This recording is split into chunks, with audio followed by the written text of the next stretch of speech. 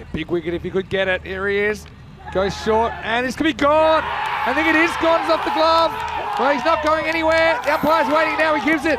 So big moment in the final. Lynch takes it on the horizontal bat shot, and he's just beaten for pace. He hits the glove it balloons up. The keeper takes the catch, and Spain, they're away. Kamran, you can't catch him now. Is Got this him. nicked? Oh! oh, it's caught. He's He's got got, it. it. Yeah, he got it. He's got it.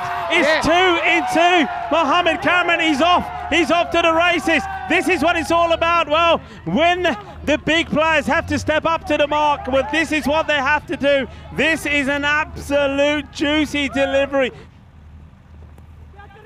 Wow, this one's there a touch on this. They like it, and he's gone. Little touch, tried to get funky. Now match it goes, and so Kamran. It wasn't the Yorker. It was. It was more of a, a kind of length ball. In fact, it's Melly who tried to kind of angle away, and so unfortunately he is the third man to go on 11 lose three in the power play. 19 for three.